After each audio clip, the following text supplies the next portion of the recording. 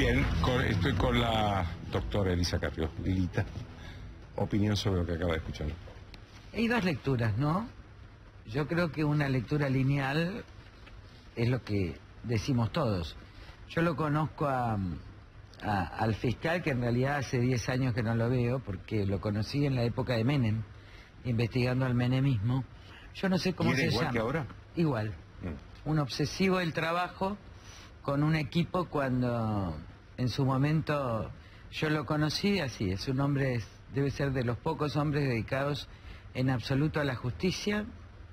Yo no, incluso creo que un día le hablé y no me contestó, que fue para, para ver qué hacía con todas las pruebas de las fotos de las bóvedas. Eh, la conozco sí a Marcela, su hermano obviamente, porque milita conmigo, pero él es un fiscal muy particular. Entonces, una lectura lineal es la siguiente. Él investiga todo, ¿eh? no investiga a Lázaro Báez. Él investiga todo. Siempre investigó todo. Investigó todo el menemismo. eh, fue de los primeros fiscales que fue a, a Saavedra. Estaba con este hombre, ¿cómo se llamaba? Fiscal de Cámara, con Cuantín. Ah, Ahí lo conocí yo, en el despacho de Cuantín. Así que es uno de los mejores fiscales de la nación. Entonces, desde el punto de vista lineal, miren, eh, la señora Procuradora de la Nación es una delincuente, eh, que funciona como encubridora de los delitos del poder, en vez de ser la representante de la ley. Y lo digo porque tengo ya, esta es la cuarta denuncia agravamiente por encubrimiento agravado. Ella es una fiscal que encubre, y esto de encubrimiento agravado, porque la Procuradora General de la Nación, ¿a quién? A Lázaro Báez, no señores, encubre a Cristina Kirchner. Encubre a la familia Kirchner cuyos dineros están entrelazados con su testaferro que es Lázaro Báez. En, la, en Juez de Colini tiene una causa donde ella es la que sus fiscales más adeptos mandan a sacar a Lázaro Báez de la indagatoria en el propio juez Casanelo, cuya orden es encubrir a Lázaro Báez. Eh, así que tenemos ya tres denuncias, esta mujer va a terminar presa, que nadie tenga dudas. Yo creo que es casi como quemarse a lo bonzo. Me hace acordar a María Julia, mm, ¿cómo se llamaba María Julia? Estoy, perdón, estoy grande. María Julia Alzogaray, ¿no? Porque en el fondo eh, el problema es que la, la dejaron. Recuerdo la soledad que yo tenía cuando la impugné por fanática. Eso, Ya en ese sobre- momento- sobre eso, porque usted fue la única que presentó un pedido contra la designación de ella en con el el- Senado. Y que investiguen a su hija que trabajaba en ¿Qué, qué- tela. qué sabía en ese momento usted? Que, porque ella Todo. en ese momento...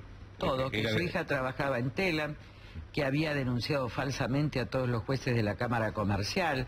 Ella es una mujer que asciende en la Procuración General, estaba primero en la parte baja con otra gente y cuando Nicolás Becerra, Procurador General de la Nación, en la década de Menem, ella tiene una relación personal muy estrecha con Nicolás Becerra, se hace menemista y ahí es donde termina finalmente ascendiendo en la justicia. O sea, su carrera empieza con Nicolás Becerra en el menemismo. Eh, y después se convierte a justicia legítima. Eh, en realidad, la gran discusión ya vino antes, en un momento, ¿se acuerdan? Con el fiscal, eh, con el anterior procurador general, cuando ella le dice, hay que defender al gobierno. Eso fue antes de ser designada. Sí, Cuando ya estaba designada había tenido todo el conflicto con la Cámara Civil y Comercial.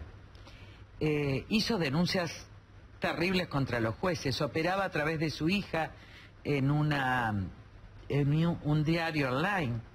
Eh, nosotros dijimos eso todo ante el Senado de la Nación, ni escucharon, ni me citaron a la comisión de acuerdo. Votó toda la oposición, creo que se abstuvo solo Norman Morandini y votó en contra Sima de Vila y la senadora Montero. Eh, pero yo recuerdo haberle hablado a usted diciéndole cuidado que detrás de esta carne eh, pasada, que era el, el- el primer candidato, El lo que viene es la idea de una venganza estalinista a través de, de una mujer que responde obviamente directamente ante Zanini, que es el personaje que gobierna hoy la venganza final.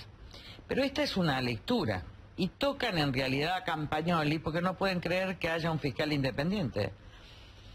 Pero también creo que tocan a Campagnoli porque hoy se hace cargo Cristina Camaño, que viene justamente de dónde viene, del Ministerio de Seguridad. ¿A qué viene? A encubrir al hermano del actual ministro de Seguridad. Y creo que también detrás de esto está el tema de River. ¿eh? Miren, el tema de las barras bravas en este momento tiene una importancia fundamental, eh, porque las barras bravas de todos los equipos liderados por muchos políticos de todos los colores. Las alquilan. Están Mm, directamente vinculados a los saqueos, están directamente vinculados al narcotráfico, son la mano de obra que usa la política para muchísimas cosas. Tocar eso es como tocar esa red mafiosa que hay ahí allá abajo. Yo vi, he leído 10 expedientes de narcotráfico, en todos hay barras bravas. En todos estaban barras bravas unidas. Es decir, que la relación entre motochorros, barras bravas, política, es íntima.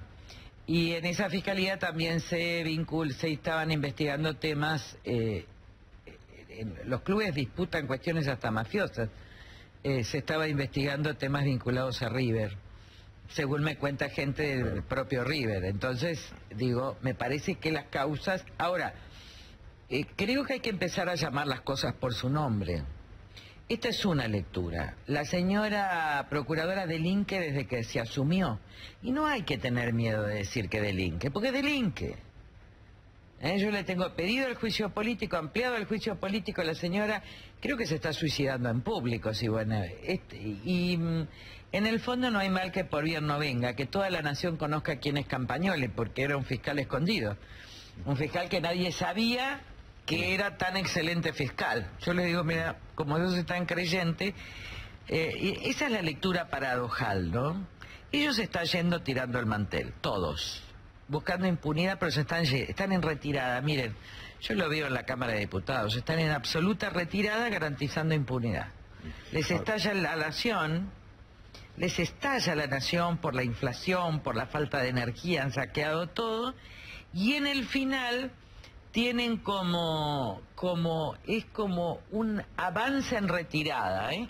Hacen que tienen poder, como los militares al final, y dictan leyes de autoamnistía, como es la responsabilidad del Estado, pero están en franca retirada, ¿eh?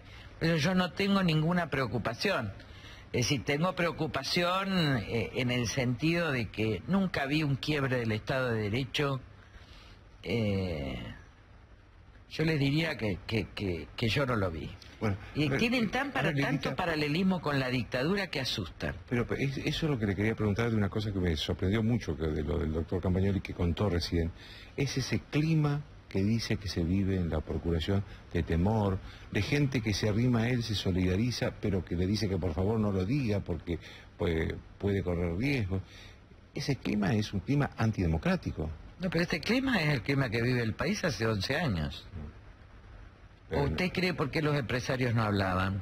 No, ya sé, pero en el nivel de, lo- de- de- de funcionarios Pero por judiciales y de supuesto, pero pregúntele a los empresarios argentinos, ¿por qué no hablaron?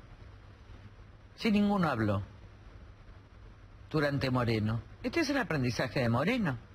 La señora procuradora es Moreno, pero los que hoy están usando armas para extorsionar al poder son Moreno en masa.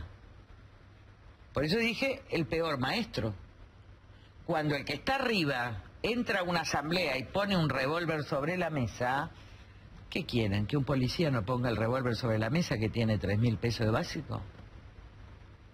¿Qué quieren? ¿Que las armas solo son para los camporistas y las armas no son para todos los chicos de la villa que ni estudian ni trabajan? Si ellos repartieron las armas a través del RENAR. Miren, yo tenía que irme porque la verdad que estoy muy cansada, quería irme cinco días porque sabía que los días que venían eran difíciles. Me iba el martes a la noche, así que cuando el lunes vi cómo venía la cuestión en el país, perdí las únicas vacaciones porque yo me voy a quedar, y eso quiero que lo sepa la gente, no me muevo, de Buenos Aires no me muevo, me iré un día si está todo tranquilo, en enero un día, pero no me muevo, sepan que estoy, que voy a estar en silencio porque los acontecimientos, que la gente esté quieta, que no se movilice, ¿eh? que no vaya de un lugar a otro como si nada pasara, ¿Por qué? porque yo estuve en permanente contacto con las provincias. Miren, en la provincia del Chaco, el día viernes, los saqueos, imagina, tengo hijos allá. Los saqueos empezaron... ¿Estamos hablando del viernes este que pasó? Eh, del viernes anterior. El lunes fue, fueron los saqueos en Resistencia. El viernes, el sábado a la mañana, un empleado de una firma le dice a alguien, mira que el lunes ya le avisaron a todos los chicos de las villas que pueden robar. Todavía no se sabía nada. El saqueo empezó el lunes y la gente salió de las villas el lunes a la hora que se autoacuartelaban. Voy a vamos a ver lo de Tucumán que fue terrible. Ustedes no saben los climas que se vivían. Algunos me decían, mamá, me, me están, están retirando autos. Pero no se muevan, quédense quietos, quédense quietos. Tucumán.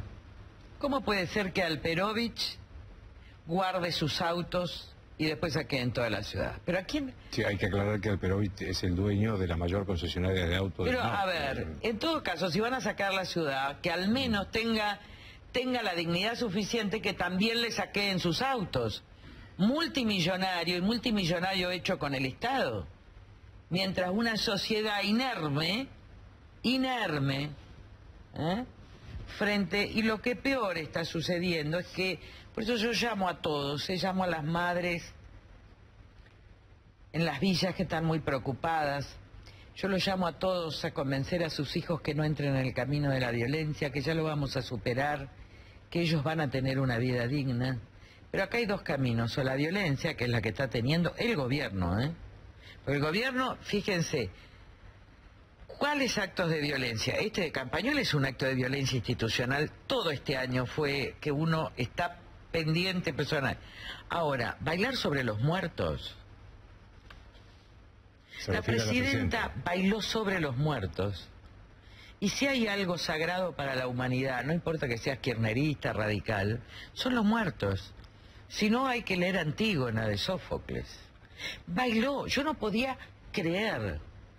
Ese es un acto de violencia institucional que eh, yo llamé en un comentario un libro de Ando Cret, el desamor de los dictadores, es no sentir la muerte del otro. Yo escribía en Facebook, por favor sientan la muerte, porque a veces cuando la muerte sucede en el interior parece que no le pasa nada a nadie.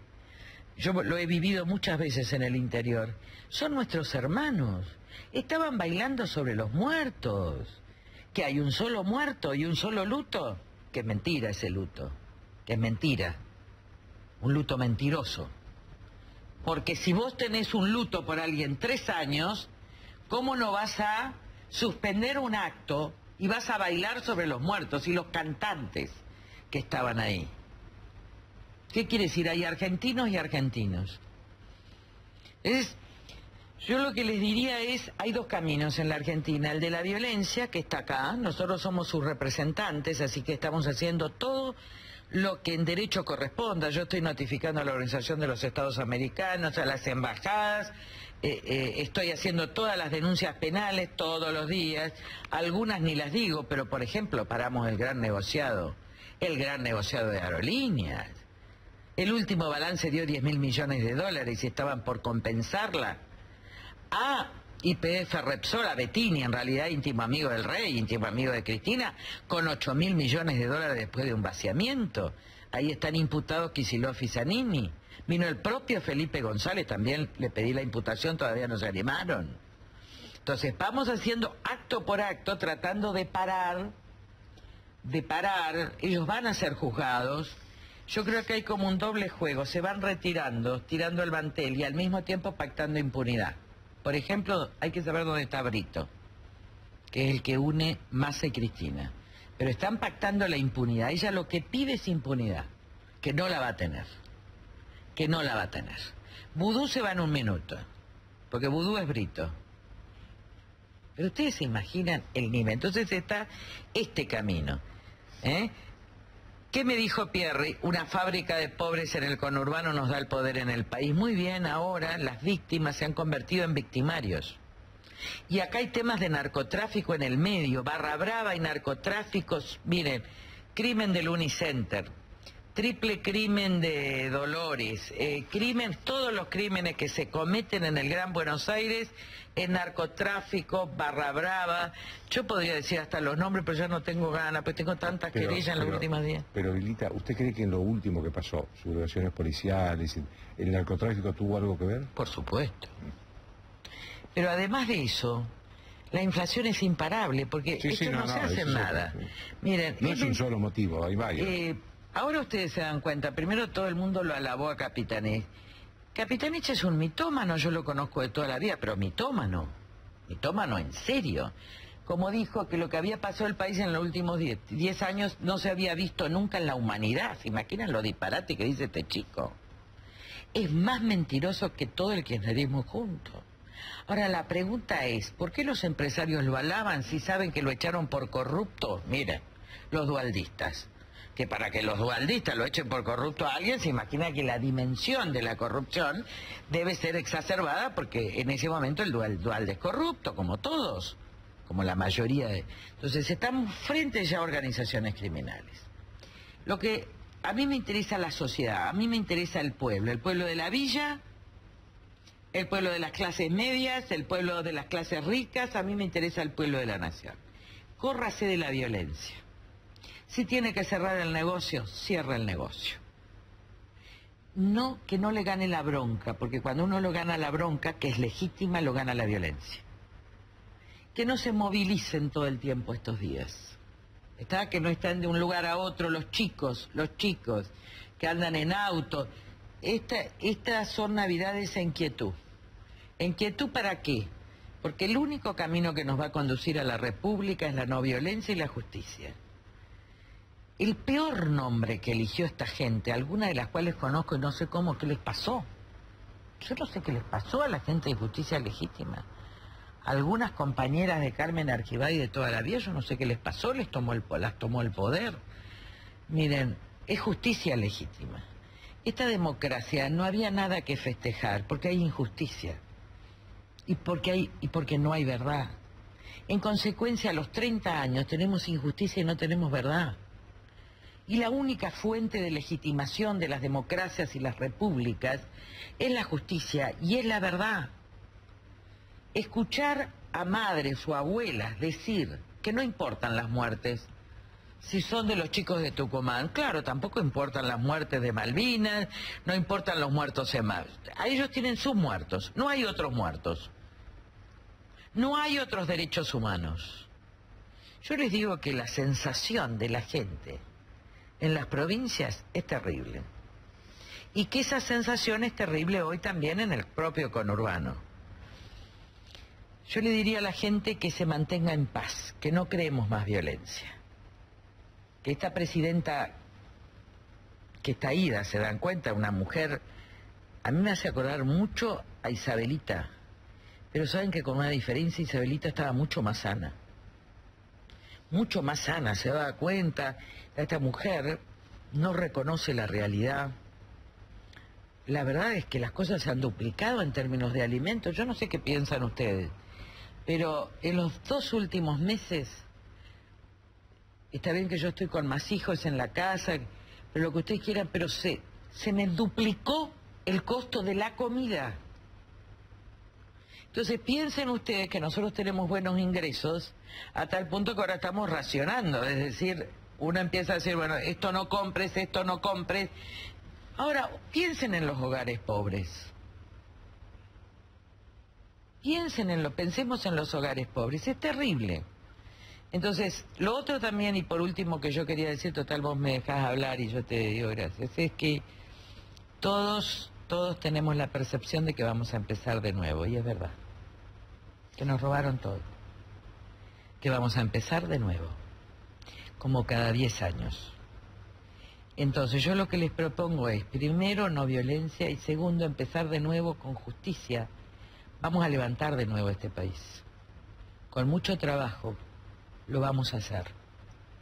Yo ya no tengo enojo, porque el enojo lo tenía cuando no me escuchaban. Cuando no me creían, cuando me trataban de histérica, cuando me trataban de loca, pues decía, estos son los pasos que conducen a este fascismo. Y para el que quiere información, lean La sapientísima esposa de Ceausescu, en Rumania, que era una mujer que deliraba. Se hicieron un, un castillo y deliraba. Yo quiero que Cristina no tenga, por favor, ese final jamás, pero estoy hablando del desamor de los dictadores. La, última mujer de Mao. ¿eh? La violencia de Stalin. Eh, uno ha vivido, ha leído cosas terribles de la gente adicta al poder, pobrecito. Pero ahora nuestro deber es salvar al pueblo.